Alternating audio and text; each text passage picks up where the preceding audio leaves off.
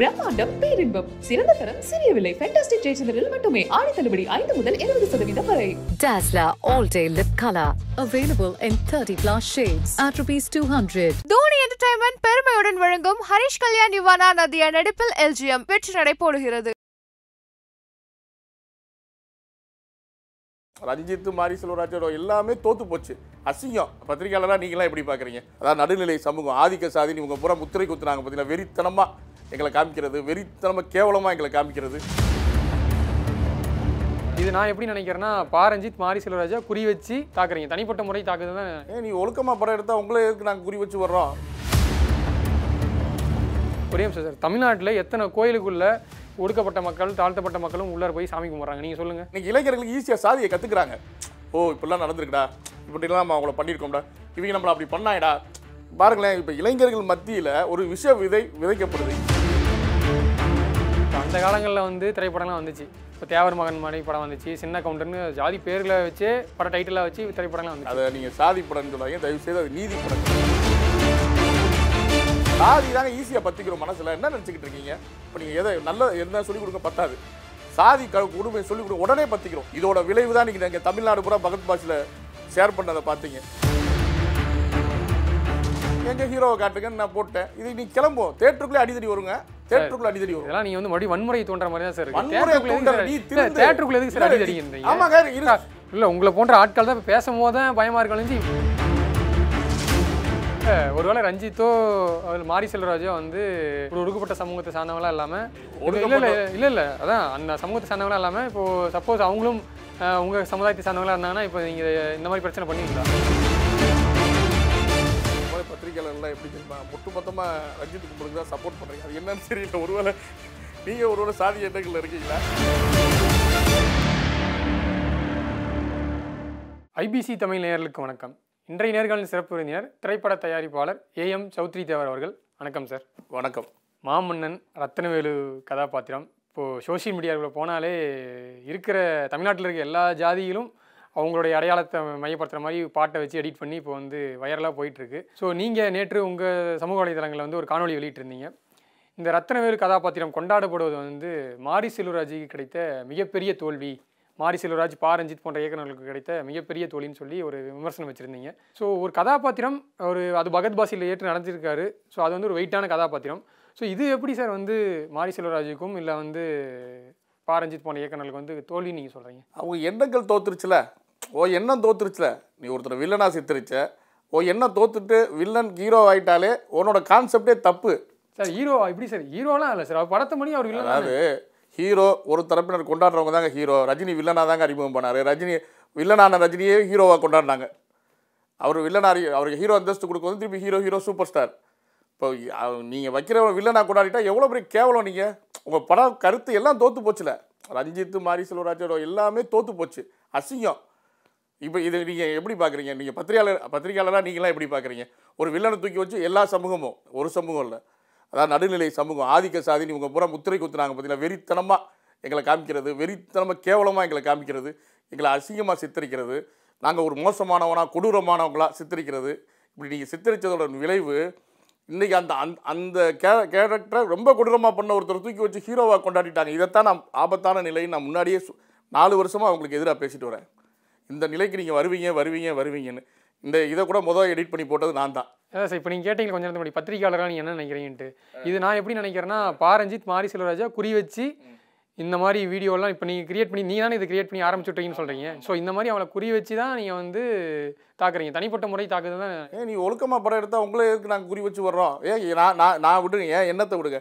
எந்த மாதிரியா ஒட்டுமொத்த எண்ணமும் இருக்குது பிரதிபலிப்பை பாருங்கள் ஒரு விஷயம் நல்லதோ கெட்டதோ பற்றிக்கிறது தான் நல்லதை விதைச்சுனா நல்லது வரும்.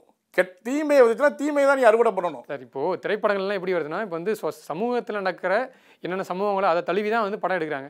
ஸோ திரைப்படத்தை நம்ம படமாக பார்த்துட்டு கடந்து போயிடலாமே. நீங்கள் ஏன் வந்து தனிப்பட்ட முறையிலையோ ஒரு நம்ம சமுதாயத்தை தாக்குறாங்கன்னு எடுத்துக்கிறீங்க? இப்படி கடந்து போகிற பிரச்சனைகள் எங்களுக்குள்ளே இல்லை பிரதர். இதெல்லாம் தாண்டி எத்தனையோ கொடுமைகள் பிசிஆர் ஆக்ட் இந்த சமூகங்கள்லாம் சந்தித்த வலி வலி வலி சந்திச்சு சந்திச்சு சந்திச்சு சந்திச்சு போங்கடா எங்கள் பெரியவங்க மு- முட்டாள்தனத்தெல்லாம் தூக்கி எரிஞ்சிட்டு நாங்கள் இனி அடுத்த சமூகத்தில் ஒற்றுமையாக இருக்கோம்டா. அவங்களோட போகட்டும். அவங்க என்ன பண்ணாங்களோ இவளை உட்கார வச்சாங்களா இவங்களை நிற்க வச்சாங்களா இவங்களை என்ன பண்ணாங்கன்னு எங்களுக்கு தெரியாது. ஆனால் இன்றைக்கி இருக்க சமூகத்தை அந்த அழுக்கெல்லாம் தூக்கி எரிஞ்சிட்டோம் அது கால வாழ்வியல் தான் ஒருத்தரை போய் நம்ம அடிமைப்படுத்திட முடியாதுல்ல. கால வாழ்வியலில் அவங்கவுங்க என்ன வாழ்வியலில் இருந்திருக்காங்களோ ஒரு தொழில் சார்ந்த அன்றைக்கி அவங்க அவமானப்படுத்தப்பட்டாங்களோ என்னப்படுத்தப்பட்டாங்களோ அவங்க நிலை எப்படி இருந்துச்சோ தெரியாது. இன்றைக்கி எல்லாமே மாதிரி எல்லாம் சமமாயிட்டோம். இந்த யாரு உள்ள வரோம்னா நம்ம யார் என்ன ஜாதின்னு கூட நம்ம கேட்குறதில்ல இது ஏன் தான் இந்த சமூகம்லாம் பிசிஆர் ஆக்ட் போட்டு வலி அட் அடி மேலே அடி அவங்களுக்கு. இல்லை சார் இப்போ நீங்கள் சொல்கிறீங்கல்ல இப்போல்லாம் சமமாயிட்டோன்ட்டு. ஆனால் தமிழ்நாட்டில் இன்னும் சமமாக தான் இருக்காங்கன்னு நீங்கள் நினைக்கிறீங்களா? ஏன்? இப்போ சமமான சார் அதான் சார் இப்போ நம்மளுக்கு நீங்கள் அதாவது நீங்கள் நினைக்கிறீங்க உங்களுக்கு தெரிஞ்ச இடங்கள் வந்து சமமாக இருக்கீங்க நீங்கள் சமமாக ட்ரீட் பண்ணுறேன்னு சொல்கிறீங்க தமிழ்நாட்டில் முழுக்க தமிழ்நாட்டில் தமிழ்நாடு மாறிடுச்சு நீ அப்புறம் இப்படி தான் நடந்துச்சு நடந்துச்சுன்னா இப்போ சின்ன இது எப்படின்னா இளைஞர்களுக்கு ஒரே நிமிஷம் சார். தமிழ்நாட்டில் எத்தனை கோயிலுக்குள்ள ஒடுக்கப்பட்ட மக்கள் தாழ்த்தப்பட்ட மக்களும் உள்ளார போய் சாமி கும்பிட்றாங்க? நீங்கள் சொல்லுங்கள் இப்போ இப்போ ரீசெண்டாக பிரச்சனை வந்துச்சு. பசும்பொன் முத்துராமலிங்க தேவர் அஹ், மு- முதல் போராட்டமாக மீனாட்சி அம்மன் கோயில் ஆலய பிரவேசம் பண்ணி வச்ச ஹரிஜன மக்களை பண்ண வச்சவரே பசும்பொன் முத்துராமலிங்க தேவர் அந்தையிலேருந்து இந்த நிலை கிடையாது. எங்கோ ஒரு குறிப்பிட்ட சாதிகள் கட்டி வச்ச கோ கோயிலுக்குள்ளே ஒரு சின்ன சண்டைகள் வருதா இவங்க அதாவது ரெண்டு பேருக்கு மேலே தப்பு இருக்குங்க. ஒருத்தர் மேலே தப்பு இல்லை. ஒரு கோயிலுக்குள்ளே சராசரியாக போய் கும்பிட்டுட்டு வர்றதுக்கும் அதை போகிறதுல அதாவது இப்போ விடுதலை சிறுத்தை மாதிரி கட்சிகள்லாம் வந்து எதிராக தூண்டி விட்டு இந்த மாதிரி நிறையா தவறுகள் நடக்குது. நடக்காமல் இல்லை. ஆனால் தொண்ணூறு சதவீதம் மாறிடுச்சு. இந்த நேரத்தில் நீங்கள் வந்து பழமையை கொண்டு வந்து விதைச்சு பழைய கண்டென்ட் கேவலமான கண்டென்ட்லாம் கொண்டு வந்து விதைச்சா இன்றைக்கி இளைஞர்களுக்கு ஈஸியாக சாதியை கற்றுக்குறாங்க ஓ இப்படிலாம் நடந்திருக்குடா. இப்படிலாம் நம்ம அவங்கள பண்ணியிருக்கோம்டா. இவங்க நம்மளை அப்படி பண்ணாயடா பாருங்களேன் இப்போ இளைஞர்கள் மத்தியில் ஒரு விஷ விதை விதைக்கப்படுது. இது இன்னும் ஒரு தொடர்ந்துச்சுன்னா இது மோசமான அறுவடை. ஒரு கலவர சாதி கலவரங்களை திருப்பி உருவாக்கும். பல சாதி கலவரங்களை நம்ம சந்திப்போம் மீண்டும். இவங்கனால இவங்களோட குரூர புத்திங்க குரூர இவங்க குரூர பு- எப்படி தான் இவங்களாம் இப்போ ஒரே நிமிஷம். இப்போ அந்த காலங்களில் வந்து திரைப்படம்லாம் வந்துச்சு. இப்போ தேவர் மகன் மாதிரி படம் வந்துச்சு சின்ன கவுண்டர்னு ஜாதி பேர்களை வச்சு பட டைட்டிலாக வச்சு திரைப்படம்லாம் வந்துச்சு. அதை நீங்கள் சாதி படம்னு சொல்லாதீங்க. தயவு செய்து அது நீதி படங்கள். அந்த படங்கள் யாரையாவது யார் மனசையா புண்படுத்துற மாதிரி ஒரு படம் இருந்துச்சுன்னு சொல்லுங்க. இல்ல சார், தேவர் மகன் ஒரே சமூகத்துக்குள்ள அடிச்சுக்கிறது. அது எங்க சமூகம்? தேவர் சமூகம். சின்ன கவுண்டர் ஊருக்கே நீதி சொல்ற ஒரு ஒருத்தரோட கதை. அவர் நீதி தவறும் பொழுது அதை தண்டனை அவரே ஏத்துக்கிறார். தன் தாயை கூட பணைய வச்சுட்டு ஒரு விஷ தண்ணி அந்த கம்மாயில் கலந்து அந்த விஷத்தை வச்சுட்டு போறதாங்க நீதி. அவர் ஒன்று ஏய் ஒடுக்கப்பட்டவங்கடா உங்களை அப்படி தானே செய்வோம். நீ என் பேச்சை தானே கேட்கணும் சின்ன கவுண்டரில் அவர் சொல்லல நீங்கள் பாருங்க எஜமான் எந்த படத்தை எடுத்துக்கோங்க? நீதி படம் எடுத்தாங்க. அன்றைக்கி ஆர்வி உதயகுமாராக இருக்கட்டும் அன்றைக்கு இருந்த இயக்குநர்கள். பூரா சாதி படம் எடுக்கல பூரா நீதி படம் தான் எடுத்தாங்க. சாதி நீதி சாதி அழியவே கூடாதுங்க. சாதி அழிஞ்சுனா மனித ஒழுக்கம் அழிஞ்சிரும். சாதி என்றைக்குமே அழியக்கூடாது. ஆனால் அந்த சாதியில் நீதி இருக்கணும். ஒவ்வொரு சாதிக்கும் ஒரு நீதி இருக்குது தேவரா எங்கள் கம்யூனிட்டிக்கு ஒரு நீதி. அதை கடைப்பிடிப்போம். எல்லா சமூகத்துட்டையும் தேவர் அதை கடைப்பிடிக்கிறனால இன்றைக்கி எங்கள் கம்யூனிட்டி இன்றைக்கி உயர்ந்து நிற்கிது அதெல்லாம் விட்டு கொடுத்தனா தப்பாயிரும். சரி இப்போ அப்போ நீங்கள் சொல்கிறபடி பார்த்தா சுயசாதி பெருமை பேசுகிற படங்கள் வந்தால் தப்பு இல்லை. ஆனால் சமூகத்தில் ஏதாவது ஒரு ஒடுக்கப்பட்ட மக்கள் வந்து நிறைய பிரச்சனைகளை சந்திச்சிருக்காங்க. அதை வந்து பிரச்சனை அந்த பிரச்சனையை மையப்படுத்தி திரைப்படம் எடுத்தால் உங்களுக்கு வந்து பிரச்சனையாக சுயசாதி பெருமை பேசுகிறேன் படம் ஸ்டார்டிங்லேருந்து எண்டு வரைக்கும் அந்த கதாநாயகனே ஆயிரம் இன்னல்களை சந்திக்கிறாங்க. அருவா படிக்க சொன்ன வந்தோன்னு கேட்டோன்னு படிச்சுட்டாங்களா? கடைசியில் இவன் வெட்டி ஜெயிலுக்கு போன பிறகு தான் படிக்கிறாங்க. சின்ன கவுண்டரில் அவர் தீர்ப்பு சொன்ன கேட்டாங்களா? திடீர்னு அவர் மேலேயே ஒரு ஒருத்தர் அவன் சமூகத்தை சேர்ந்தவன பழியை சுமத்துறான். அதையும் அவர் எதிர்கொள்கிறாரு சாதாரண மனிதனாக தான் எதிர்கொள்கிறாரு அதெல்லாம் அவங்களோட அவங்களுக்குள்ள அவங்களுக்குள்ள ட்ராவலை கிளியராக காமிச்சிருந்தாங்க இவங்க எப்படி தெரியுமா? ஒருத்தனை கூட்டிகிட்டு வந்தான். வீட்டுக்குள்ளே அடி கட்டி போட்டான். அவன் மேலே சிறுநீர் கழிச்சா? அவன் அவனை அடிச்சா? அவனை அதில் சரி அதில் காட்டிய சில சம்பவங்கள் வந்து அவர் டைரெக்டாக ஃபேஸ் பண்ணியிருக்கேன்னு சொல்கிறாரு அவர் எங்கே ஃபேஸ் பண்ணார்? அதை இப்போ இதெல்லாம் கொடுக்க சொல்லுங்க. சரி நீ ஃபேஸே பண்ணிட்ட. இவ்வளோ அருவருப்பான ஒரு விஷயத்த ஃபேஸ் பண்ணிட்ட. இது அடுத்த சமுதாயத்துக்கு சொல்லி கொடுக்குறதுக்கு உனக்கு வெக்கமா இல்லை? அடுத்த சமுதாயத்துக்கு நாலு சமுதாயம் இருக்குது நீங்கள் நீ இதை பார்த்து எங்கேயாவது ஒரு இடத்துல நடந்துட்டா என்ன செய்யறது இதை பார்த்து இன்னொரு சாதி ஆதிக்க நடக்கும்னு சொல்கிறீங்க இது மாதிரி சம்பவம் நடந்துட்டா? சாதி தாங்க ஈஸியாக பற்றிக்கிறோம் மனசில். என்ன நினச்சிக்கிட்டு இருக்கீங்க? இப்போ நீங்கள் எதை நல்ல என்ன சொல்லிக் கொடுங்க பத்தாது. சாதி க கொடுமை சொல்லிக் கொடுங்க உடனே பற்றிக்கிறோம் இதோட விளைவு தான் நீங்கள் நீங்கள் தமிழ்நாடு பூரா பகத் பாஷில் ஷேர் பண்ணதை பார்த்தீங்க. எல்லாரும் அவங்கவுங்க பாட்டு பாருங்க. ராஸ் பன்னீர் போட்டு கொண்டாடினாங்க. கவுண்டர் போட்டு கொண்டாடினாங்க. அஹ் நாயக்கர் போட்டு கொண்டாடினாங்க. எல்லா ஜாதி கொண்டாடா ஜா கொண்டாடாத தமிழ்நாட்டில் ஒரு ஜாதி நடுநிலை சாதிகள். நீங்கள் ஆதிக்க சாதின்னு பேர் வச்சீங்க. அந்த ஆதிக்க சாதிகளோட கொண்டாட்டத்தை பார்த்தீங்களா? இது வந்து நடுநிலை மக்கள். இப்போ நீங்கள் தாழ்த்தப்பட்ட நடுநிலை மக்களுக்கு வேலை பெரிய வேதனை ஏற்படுத்தியிருக்கும். இதை யாரா தொடங்கினா நீங்கள் தான் தொடங்குனீங்க இல்லை நீங்கள் என்ன சொல்கிறீங்க அந்த அந்த மக்களுக்கே வந்து வேதனை ஏற்படுத்திருக்குன்னு சொல்கிறீங்க ஆமா. ஏங்க எங்களுக்கே செய்யணும்னு ஆசை இல்லைங்க. இவங்க இவங்க பண்ண கேரக்டரை தூக்கி பிடிக்கணும். தூக்கி பிடிச்சா அடுத்து செய்வானா? யோசிப்பான்ல. அடுத்து படம் எடுக்கல இப்போ இப்போ இந்த இது ஒரு அடுத்து நீ யோசிக்கல ஒரு கேரக்டரை ரொம்ப வன்மத்தை வைக்கணுமான்னு யோசிப்ப. நீ திருந்தணும். நீ திருந்துறதுக்கு தான் நாங்கள் இப்படி செஞ்சோம். மாரி செல்வராஜ் என்னையாச்சும் அவர் படங்கள் வந்து சொல்லியிருக்காரு. நான் வந்து இந்த ஜாதியை தான் வந்து குறியீடாக பயன்படுத்துறேன்ட்டு. அஹ் குறியீடு வச்சு தாங்க அவங்க படமே எடுக்கிறாங்க. குறியீடு இல்லாமல் அவங்க படமே எடுக்கிறதில்ல. கபாலிலேருந்து எடுத்துக்கோ. கபாலியில் டைரெக்டாக தேவருக்கு அகேன்ஸ்டாக குறியீடு அந்த ரஜினி நம்ம ரஜினிகாந்தை வச்சு டைரெக்டாக குறியீடு வச்சார் இது எவ்வளோ பெரிய பசும்பொன் சித்தட்டை விளாடுற அழிஞ்சு போவாங்க. பசும்பொன் சித்தட்டெல்லாம் விளாடவே கூடாது. அவருக்கு எதிராக தேவமா இருக்குது இப்போ குறியீடுன்றது இப்போ இன்றைக்கி இப்போ ஜெய்பீமில் எடுத்துக்கோங்க. ஒரு வில்லன் வீட்டில் எதுக்குங்க ஒரு அக்னி சட்டி காலண்டர் வைக்கணும்? அப்போ அடித்து குடும்பப்படுத்துகிறவன் வன்னியர். அப்போ நீ எவ்வளோ வன்மை உனக்கு ஆ? அதே மாதிரி இப்போ எஸ்எஸ்ஆர் நம்ம மாவீரன் அதுக்கு நான் இப்போ பெருசாக பண்ணி இப்போ ஓடிடியில் எடுக்கலாம் பெரிய போராட்டம் பண்ணுவேன். ஓடிடியில் இப்போ பதினஞ்சாம் தேதி வரப்போகுது ஆகஸ்ட் முப்பது. மடோர் அந்த லிஸ்ட்டில் நான் சேர்த்து தான் வச்சுருக்கேன். ஏன்னா ஒரு ஊழல்வாதி வீட்டில் எங்கள் சமுதாய தலை மதிப்புமிக்க தலைவர் எஸ் எஸ் ராஜேந்திரன் லட்சிய நடிகர்னு பேர் எடுத்தவர் அவரோட போட்டோவை வச்சு நீ ஒரு தவறான குறியீடு. ஒரு முக்குளத்து சமூகத்தை சேர்ந்த ஒரு அமைச்சர் ஒரு தாழ்த்தப்பட்ட மக்களுக்கு கொடுமை செய்கிற மாதிரி ஊழல் செஞ்சு அவங்கள கொடுமை செய்கிற மாதிரி ஒரு கேரக்டர் சித்தரிச்சிருக்கு. அப்போ இப்போ உங்களோட இவங்களோட குறியீடுகள்லாம் பாருங்கள் இப்போ கர்ணன் படத்தில் ஆப்போசிட்டில் நிற்பாங்க அங்கே போர்டுகள் அங்கே பாடுற பாட்டுகள் அமரன் பாட்டு அது மாதிரி போட்டு குறியீடுகளில் இவங்க சமூகத்தை காட்டுறாங்க. இதை எல்லா சமூகமும் உணர்ந்துருக்கு. உணர போய் தான் இந்த இந்த எதிர் எதிர்ப்பு. இல்லை சார் நான் ஒரு இயக்குனர்கிட்ட இது மாதிரி நேர்காணல் எடுக்கும்போது கேட்டேன். நீ சாதி குறியீடுலாம் இது படங்க திரைப்படங்கள்லாம் நான் வேணும்னு திணிக்கிறது இல்லை நீ அந்த ஊரில் போய் ஃப்ரேம் வச்சினாவே அதுக்கு பின்னாடி நிறைய கட் அவுட்டுகளோ கட்சி கொடியோ ஜாதி கொடியோ ஜாதி சங்கங்களுடைய பேரோ வந்து இருக்குது அதைத்தான் நாங்கள் ஃப்ரேமில் காட்டுறோன்றாரு. இப்போ அதுக்கு என்ன சொல்லுவீங்க? நீ அப்போ காட்டினா நாங்கள் எப்படி அதாவது இது இப்போ இப்போ புரிஞ்சுக்கோங்க. நீ கேமரா வைக்கிற இடத்துல அது இருக்கா? அது இருக்கிற இடத்துல நீ கேமரா வைக்கிறியா? நான் கேட்குறேன். அது இருக்கிற அது அது இருக்கிற இடத்துல நீ கேமரா வைக்கிற. நீ திருட. அந்த போர்டெல்லாம் வந்து அப்படி வந்து கேமராக்குள்ளே விழுகாது அவ்வளோ முட்டாள் இயக்குநர்கள் யாருமே கிடையாது. நீ தேடி போய் வச்சு அந்த இடத்துல அந்த பிரச்சனை ஏன் அந்த பிரச்சனையை மையப்படுத்தி அந்த போர்டு பார்த்து ஏன் கோவம் வருது?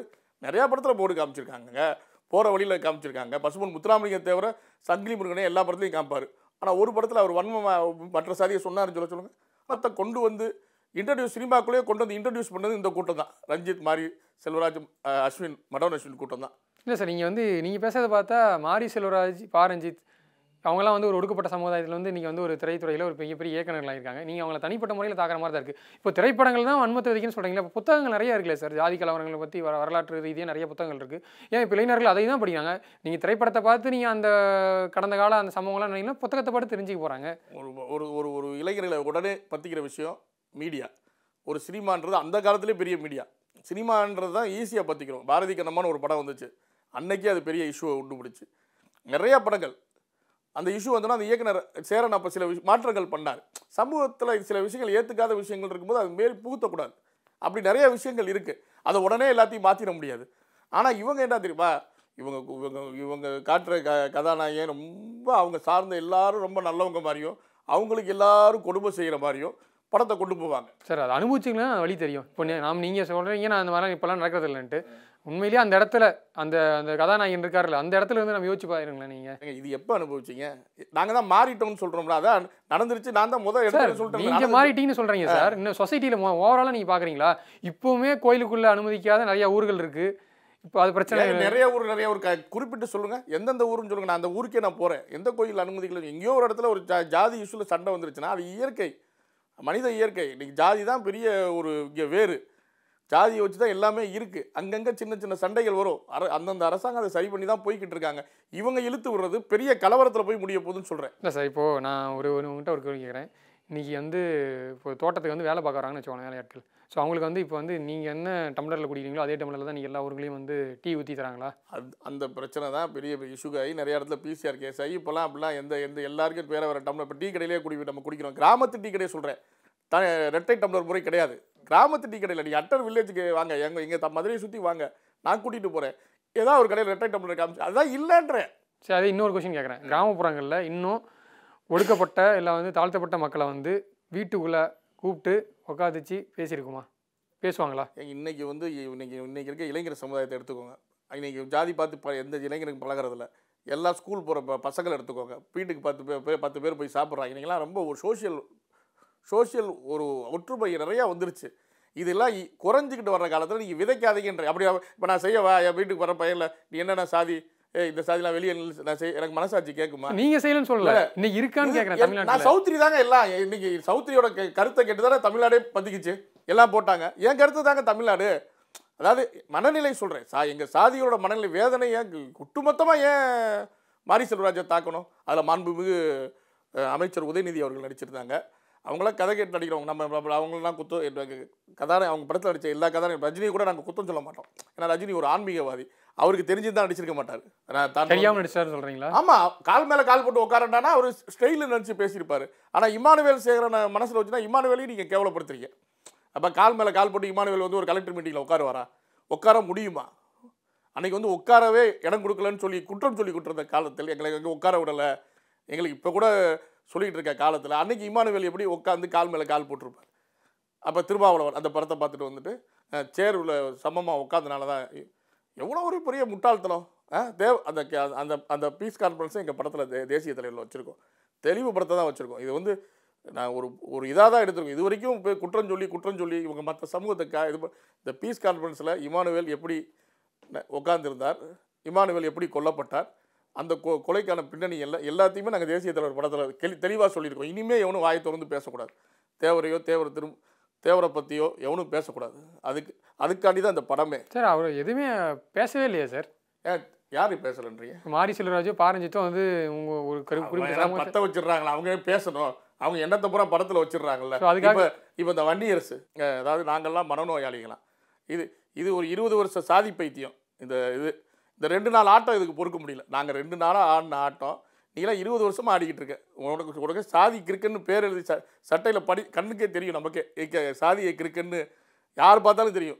அந்த அடையாளத்தோட திருற ஒரு வன்னியரசு. கிட்டத்தட்ட பை- பைத்தியம் மாதிரி தான் வன்னியரசு நீங்கள் பார்த்தீங்கன்னா சாதி பைத்தியம்.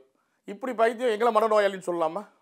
ரொம்ப ஏன் சார் கடுமையான விமர்சனத்தை முன்வைக்கிறீங்க? மனநோயாளின்னு சொல்ல வேண்டிய காரணம் என்ன? சார் அதான் சார் சொல்றேன். அது என்ன காரணம்? அதாவது நீங்கள் இந்த சைடு இருந்து பார்க்குறீங்க சார் அந்த பாதிக்கப்பட்ட அவங்கெல்லாம் வந்து அந்த ஆண்டாண்டு காலமாக நீங்கள் சொல்கிறீங்களா இப்போ அந்த மாதிரி கிடையாது. ஆனால் வரலாறு எடுத்து பார்த்தீங்கன்னா அவங்க வந்து பல இன்னல்களை சந்திச்சிருக்காங்க. அதெல்லாம் யாராலையுமே ஃபேஸ் பண்ண முடியாது. நம்ம ஒரு நாள் அந்த மாதிரி என்ன சொல்கிறதுனா தொட்டாங்குச்சியில் டீ ஊற்றி கொடுத்தாங்கன்னா அதை நம்ம வாங்கி குடிப்போமா? இவங்க செய்கிறது அவங்க அருவறுப்படுறாங்கங்க நாங்கள் என்றைக்கோ மாறி ஜென்ரேஷன் வந்துருச்சு. இது பழசை ஞாபகப்படுத்துகிறேன் அரு நீங்கள் பல பழைய இது உனக்கு ஒரு கேவலமான ஒரு ஹிஸ்ட்ரி இருக்குன்னா அதை திருப்பி யாராச்சும் சொல்லுவாங்களா? பழசில் நமக்கு ஏதோ ஒரு அவ அவமானம். அவமானமான வாழ்க்கை. நான் அது எவனா ஒருத்தர் நம்ம நிலைமை மாறணும்னு ஞாபகப்படுத்துவோம் நாங்கள் நல்லதை தான் ஞாபகப்படுத்தணும். கெட்டதை ஞாபகப்படுத்தக்கூடாது. அதைத்தான் நானும் சொல்ல வரேன். நல்லதை நான் ஞாபகப்படுத்துங்க. அதுவும் இந்த இந்த லூசு லூசுன்னு தான் சொல்லணும். நம்ம வன்னியரசு நாயை அடித்து கொன்றவனையும் தன் சாதிக்காரனை அடித்து கொன்றவனையும் கதாநாயனாக கொண்டாடுகிறார்கள்னு போட்டாப்ப ஒரு ஒரு ஒரு சமூகம் நீ குறியீடு வச்சுட்டு நாயை அடித்து கொள்கிற மாதிரியும் சொ சொந்த சாதிக்காரன் அடித்து கொள்கிற மாதிரி குரூர சீன் நீ வச்சுருக்க. மாரி செல்வராஜ் குரூர சீன் வச்சுருக்கீங்க. எங்கள் சாதியில் அடித்து கொள்கிறாங்கன்னு அப்போ அவன் எல்லாத்தையும் விட்டுருவான். எங்கள் சாதின்னு தான் கொண்டாடுறான். அவன் தப்பு பண்ணுறான் ரைட்டு பண்ணுறான் இவன் எங்களை கேவலமாக எங்களை சித்தரிக்கிறான். எங்களை கொடூரமாக சித்தரிக்கிறான். அப்போ அந்த கதாநாயகனை நாங்கள் தூக்கி கொண்டாடுறோன்ற விளைவு தான் பகத் பாசியில் கொண்டாடினதே தவிர்த்து அதில் வேறு எதுவும் கிடையாது. இவங்க தொடர்ந்தாங்கன்னா நாளைக்கு இவங்க ரஞ்சித் படமோ இப்போ இப்போ அது என்ன படம்? தங்கலான் வரப்போகுது. அதில் வில்லனு கை தட்டுறாங்களே பாருங்க தேட்டருக்குள்ள இப்போ நீ அடுத்து வந்து துருவ விக்ரம் வந்து நடிக்க போறாரு. நாங்கள் மாரி செல்வராஜ் இயக்கத்தில் நீங்கள் வந்து ஒரு ட்வீட் போட்டிருக்கீங்க. ஆமாம் அதில் உங்கள் படத்தில் யார் வில்லனாக வராங்களோ அவங்க தான் எங்களுக்கு ஹீரோன்ட்டு எங்கள் ஹீரோவை காட்டுங்கன்னு நான் போட்டேன். இது நீ கிளம்பும் தேட்டருக்குள்ளே அடிதடி வருங்க.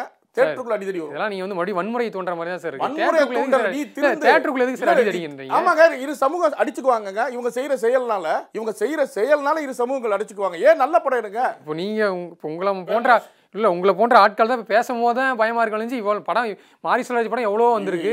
நாளைக்கு இளைஞர்கள் இந்த மாதிரி நடந்துக்கிற போறாங்கன்னு நான் முன்னாடியே எச்சரிக்கிறேனே தவிர்த்து இது வந்து அது வரக்கூடாதுன்னு தாங்க நான் எச்சரிச்சுக்கிட்டு இருக்கேன்.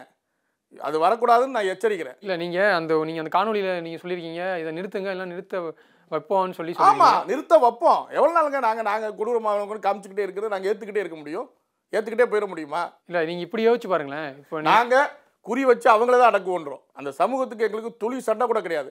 இதே ரஞ்சித் சொல்லி கொடுக்குற சில அவங்க சமூகம் சார்ந்தவங்க நம்புவாங்கல்ல அது உண்மை உண்மைன்னு. அப்போ அவன் இவனை அடிச்சுக்குவான். அடிச்சுக்கிற சூழ்நிலை வரும். அவங்க வர்ற வரைக்கும் விட மாட்டாங்க போல இருக்கு. அப்படிதான் படம் எடுப்பாங்க போல. நம்மளும் ஏங்க அவங்களெல்லாம் வையணும் திட்டணும் நமக்கு என்ன ஆத்திர ஆத்திரத்தின் மாரி செல்வராஜ் மேலேயோ பாரஞ்சித் மேலேயோ தனிப்பட்ட முறையில் உங்களுக்கு எந்த பிரச்சனையும் இல்லை. உண்மையிலேயே அவங்க வந்து நல்ல திறமையான இயக்குனர்கள் நான் இல்லைன்னு சொல்லல. திருமாவளவன் மாதிரி சாதி அரசியல் உள்ளவங்க பின்னணியை வச்சுக்கிட்டு இந்த மாதிரி சாதியை விதைச்சு இன்றைக்கி பாருங்கள் அவங்க கோடி கோடியாக சம்பாரிச்சிட்டாங்க. அவங்களுக்கு நீ செட்டில்டு மாரி செல்வராஜோ ரஞ்சித்தோ வெல் செட்டில்டு ஆனால் அவங்க சமூகத்துக்கு சொல்லித்தர விஷயங்கள்லாம் பார்த்தீங்கன்னா பழைய விஷயங்கள். இப்போ மாரி செல்வராஜ் டீமில் சே நான் கேள்விப்பட்ட வரைக்கும் அவங்க கேஸ்ட் ஆளுகளை மட்டும்தான் வச்சுக்கிருவாங்க. அடுத்த கேஸ்ட்டை ரொம்ப இதாக ட்ரீ இல் ட்ரீட் பண்ணுவாங்களான்ற வரைக்கும் என் காதுக்கு வந்திருக்கு. அந்த மாதிரி இருக்கும். இப்போ நம்ம எங்கள் யூனிட்டில் ஒர்க் பண்ணுறவங்க சொல்கிறாங்க எங்கள்கிட்ட இந்த மாதிரி எங்கள் கொடுமைகள் நிறையா நடக்குது. அப்போ இது இது நீங்கள் புதுசாக செய்கிற சாதி கொடுமைகள். நீ கரெக்டானவனை செய்ய முடியாது. நாங்களும் செய்கிற மனநிலையில கிடையாது. இப்போ நீங்கள் அந்த மாதிரி வீடியோலாம் ஜாதி பாடல்களை வச்சு ஏதோ வந்து எடிட் பண்ணி போட்டுட்டா அது உங்களுக்கு ஒரு வெற்றி மாதிரி நீங்கள் கருதுறீங்களா? எங்களுக்கு வெற்றி இல்லை. அவங்களுக்கு ஒரு யோ இது முதல் அடி- அடி. இனிமே செய்ய யோசிப்பில்ல ஒரு வன்மமானதை வைக்க யோசிப்பில்ல ஒரு சாதி குறியீடை வைக்க யோசிப்பில்ல ஒன்று அடக்க தான் இது வேலை பார்த்தோம். உங்களை அடக்க தான் இந்த வேலை. இதுதான் இது தொடங்கி விட்டு பார்த்தது. ஏன்னா இன்னி நீ இன்னி நீ ஒரு சமூகத்தை கட்டமைக்கும் போது ரொம்ப கவனமாக இருப்ப. இல்லை சார் இப்போ நீங்கள் சொல்கிறீங்களா சமூகத்தை கட்டமைக்கும் போது கவனமாக இருப்பேன்ட்டு. இப்போ நீங்கள் எடிட் பண்ணி வீடியோலாம் போட்டீங்க. இப்போது அந்தந்த சாதியில் சேர்ந்த இளைஞர்கள் நீங்கள் நினச்சி பாருங்களேன். நான் இப்போ இப்போ ஓகே நம்ம சாதினா இப்படி தான் இருக்கணும். இப்படி இப்படி தான் சட்டையை மடக்கி விட்டுட்டு செயின்லாம் போட்டு இப்படி தான் போகணும். அவன் அந்த ஆ- அந்த சமூகத்தை சேர்ந்த ஆளை பார்த்தா அவன் இப்படி தான் ட்ரீட் பண்ணணும்னு சொல்லிட்டு இவங்க இப்போ நீங்கள் சொல்கிறீங்களே அந்த மேல் சாதின்னு சொல்கிற அந்த ஆதிக்க சாதின்னு நீங்கள் நடுவில் சொன்னீங்க. அதிக சாதி நாங்கள் சொல்லலை. அவங்க வச்ச பேர். சரி அவங்க வச்ச பேர். ஸோ அந்த இளைஞர் அந்த சமூகத்தை சார்ந்த இளைஞர்கள் நினச்சி பாருங்களேன். அவங்களுக்கு இன்னுமே அந்த சாதிய குரூரை பற்றி இன்னுமே வந்து டாமினேட் பண்ணணுன்ட்டு அந்த மனநிலை தானே வரும். அதாங்க ஒருத்தன் பண்ணால் பரவாயில்ல பத்து பேர் பண்ணால் பரவாயில்ல. லட்சம் பேர் கோடி பேர் பண்ணுறானா அப்போ அவனுக்கு ஏற்பட வலியை ஏற்படுத்துறவனுக்கு எதிராக தான் பண்ணுவான். இது வலியை ஏற்படுத்தலாம் சொல்லுவாங்க இல்ல இல்ல இல்ல சார். இப்போ அந்த இப்போ நீங்க சொல்றீங்கல்ல அந்த அவங்க வந்து மாரி செல்வராஜு பாரஞ்சித்தோ அவங்க சமூகத்தை சார்ந்த அந்த இளைஞர்களை வந்து இந்த மாதிரி வந்து நஞ்ச விதைக்காங்க அதே வேலை தான் இப்போ நீங்க சொல்றீங்க குற்றச்சாட்டு அவங்க மேல அதே வேலையை தான் நீங்களும் பார்த்துட்டு இருக்கீங்க அதைத்தான் பார்ப்போம். நீ அதை பார்த்தா நான் இதை பார்ப்போம். இது இல்ல சார் இது எப்படி சார் சரியாகும்? இது நல்லதா நீங்களே இல்ல யாரு? நீ சமுதாயத்துக்கு நல்லதா? இதை தொடங்குனது யாரு? இதுக்கு முன்னாடி இலக்கினர்கள் இருந்தாங்க எல்லா ஜாதியில இருந்தும் பாரதி ராஜா வந்தாரு. இன்ன வரைக்கும் அவர் மேலே அந்த சாயம் இருக்காங்க.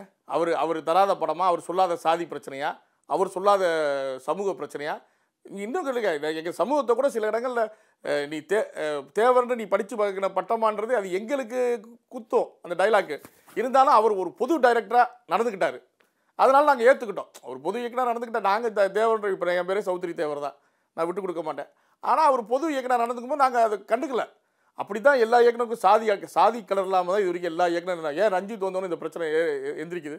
இது நாள் வரைக்கும் எத்தனையோ எந்த டேரக்டராக சாதி ஒருவேளை ரஞ்சித்தோ அவர் மாரி செல்வராஜோ வந்து ஒரு ஒடுக்கப்பட்ட சமூகத்தை சார்ந்தவங்களா இல்லாம இல்ல இல்ல இல்ல இல்ல அதான் அந்த சமூகத்தை சார்ந்தவங்களா இல்லாம இப்போ சப்போஸ் அவங்களும் அஹ், உங்க சமுதாயத்தை சார்ந்தவங்களா இருந்தாங்கன்னா இப்போ நீங்க இந்த மாதிரி பிரச்சனை பண்ணுவீங்களா? குரூர புத்தியோட படம் எடுத்தால் எவனாக இருந்தாலும் பிர- பிரச்சனை பண்ணுவாங்க. எவனாக இருந்தாலும் ஒரு சாதியை வந்து ஆதிக்க சாதின்னு சொல்லி அது மேலே கட்டமைச்சு அதை ஒரு ஒரு ஒரு கொடூரமாக காமிச்சு இன்னைக்கு இருக்க இழுத்து விடுறது பெரிய இப்போ இன்னைக்கு சோஷியல் மீடியாவில் சாதியை பேச ஆரம்பிச்சதுக்கு காரணம் சாதி சண்டை போட ஆரம்பிச்சதுக்கு காரணம் இவங்க ரெண்டு பேரும் தான். நான் சிம்பிளாக ஒன்று சொல்லட்டுமா சார்? இப்போ நீங்க ஆரம்பிச்சு விட்டது எப்படி தெரியுமா போய் முடிஞ்சிருக்கு?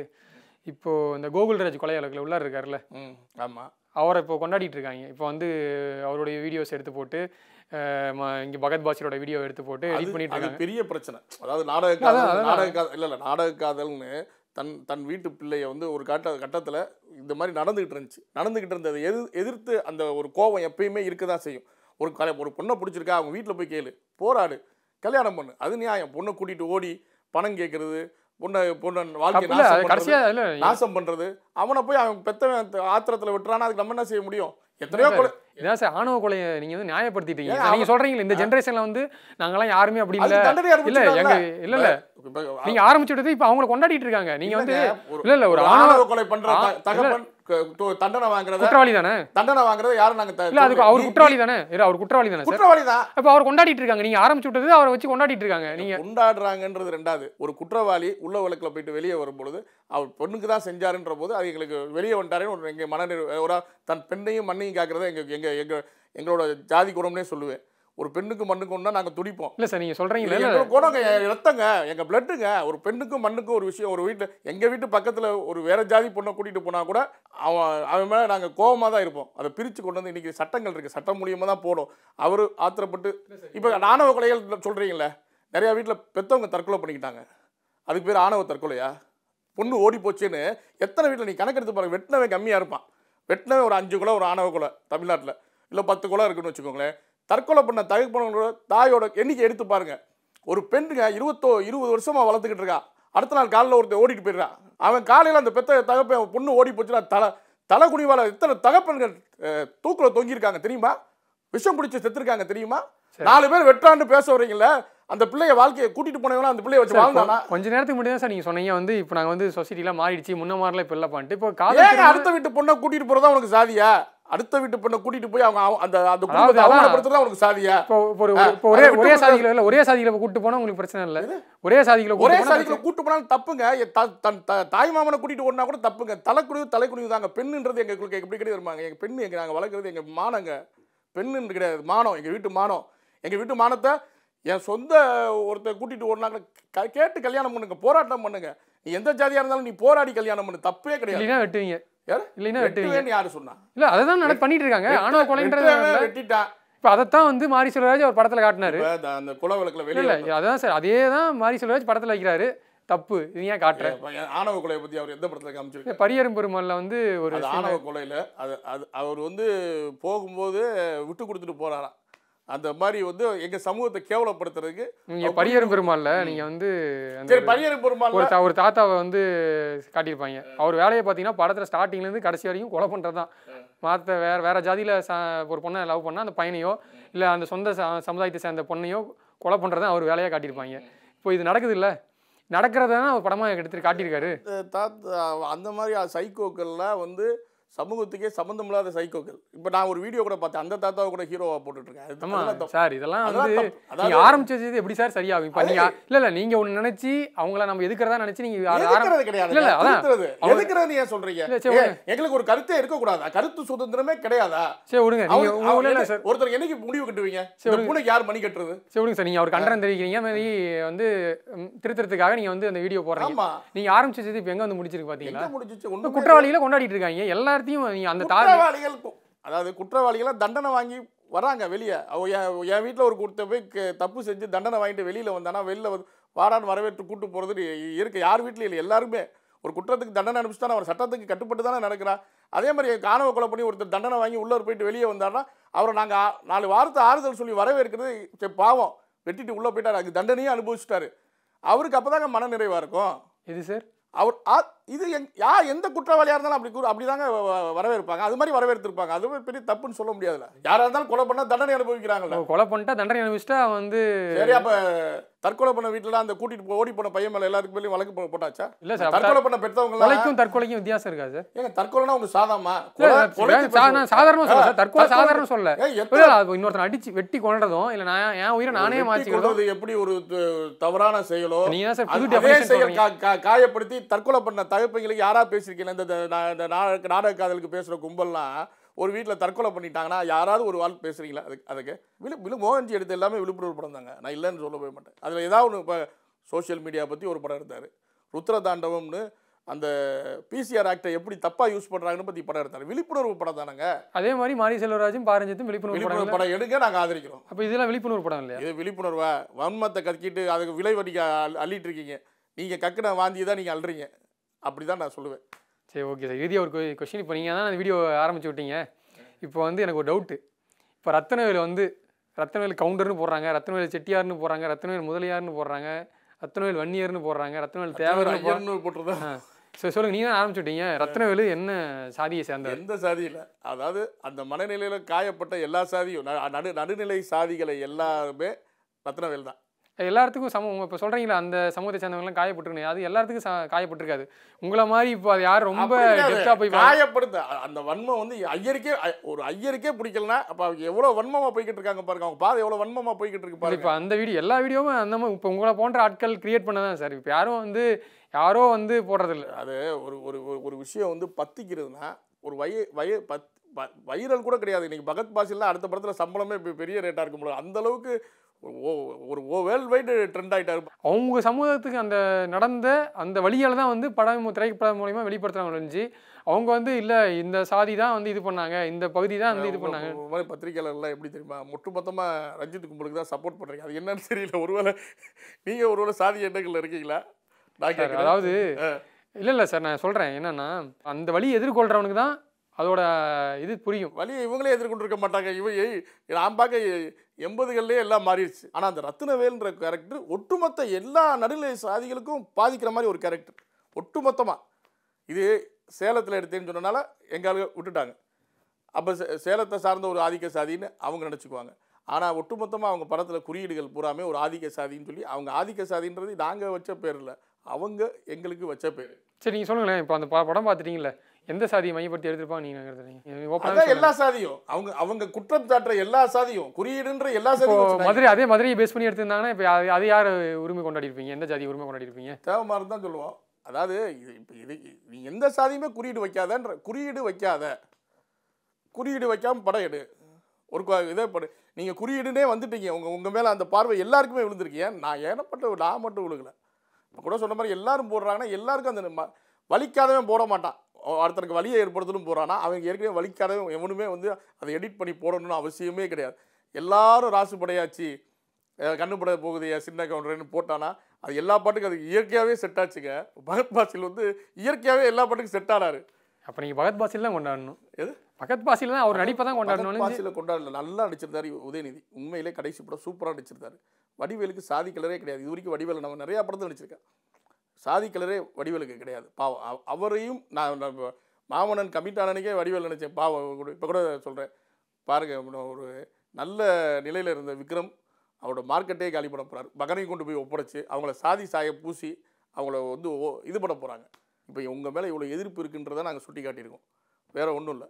இந்த இயக்குநர்கள் தொடர்ந்து நீங்கள் பயணிக்கும் போது இந்த மாதிரி கருத்துக்களை விட்டுருங்க. எல்லா இளைஞர்களுக்கும் ஏற்ற மாதிரி படம் எடுங்கன்னு சொல்லத்தான். இப்போ இளைஞர்கள் தான் அதிகமாக அதை ஷேர் பண்ணியிருக்காங்க. நாங்கள் அதை க அதை தான் வலியுறுத்தியிருக்கோம். இது வந்து இதோட வலியுறுத்தல் என்னென்னா இனிமேல் நீங்கள் ரொம்ப கவனமாக படம் எடுங்க. அனைவருக்குமான படமாக எடுங்க. நாங்களே ஆதரிக்கிறோம். நீங்கள் திறமையான இருக்கு அந்த அந்த படம் என்னங்க? உடல் ஒரு படம். நல்ல படம். ச இந்த ச- குத்து சட்டை படம். சர்பட்டா பரம்பரை சார்பட்டா படம். அதெல்லாம் பாருங்க அது பெரிய வன்மம்லாம் எதுவுமே கிடையாது. நானே ரசித்தேன் ரஞ்சித் படத்தில் சார்பட்டா பரம்பரை நான் ரசித்த படம். அதில் வந்து எந்த ஒரு ஏற்றத்தாழ்வும் இல்லை. ஆரோக்கியமான முறையில் ஒரு போட்டி. நல்லா போச்சு. அப்படி படம் எடுங்க. அது யாரும் குற்றம் சொல்ல மாட்டோம்ல. நான் இறுதியாக ஒன்றே ஒன்று சொல்லிக்கிறேன் சார். அதாவது திரைப்படத்தை ஒரு படைப்பாக வந்து படைப்பாக பார்த்துட்டு கடந்து போயிடுறது தான் நல்லது. ஏன்னா இப்போது அதுக்கு நான் வந்து அவங்கள திருத்த போகிறேன்னு சொல்லிட்டு நீங்கள் இந்த மாதிரி பண்ணுறதும் வந்து இது வந்து எந்த விதத்தில் வந்து ஒரு நல்ல விதமாக போய் முடியும்னு தெரியல. ஏன்னா நீங்கள் திருந்துங்கள் இல்லைனா திருத்தப்படுவீர்கள்லாம் அந்த காணொலி சொல்லியிருந்தீங்க. ஸோ ஒரு படைப்பை படைப்பாக பார்க்கணும். நேரம் ஒதுக்கி பல தகவல்களை பகிர்ந்துட்டீங்க நேரத்திற்கு ரொம்ப நன்றி சார். வணக்கம். அதே ஒரே முறை ஒன்று சொல்லி முடிச்சிடறேன் every action has a reaction நம்ம படிச்சிருக்கோம். நம்ம படித்ததான் எந்த ஒரு செயல் செயலுக்கும் அதுக்கு எதிர்வினை உண்டு. அது அவ அவங்க தான் உணர்ந்துக்கணும் அப்படின்னு சொல்லி நானும் யாரு கூடயும் தனிப்பட்ட பகை இல்லை வம்புடு தான் வருவோம் சண்டைக்கு வருவோம் சொல்லி முடிக்கிறேன். நன்றி வணக்கம். பிரம்மாண்டம் பேரின்பம். சிறந்த தரம் சிறியவில்லை ஃபேண்டாஸ்டிக் ஜெயச்சந்திரில் மட்டுமே ஆடி தள்ளுபடி ஐந்து முதல் இருபது சதவீதம் வரை. Dazzler All Day Lip Color. Available in 30 plus shades at rupees 200. Dhoni entertainment பெருமையுடன் வழங்கும் ஹரிஷ் கல்யாண் யுவானா நதியா நடிப்பில் எல்ஜிஎம் வெற்றி நடை போடுகிறது.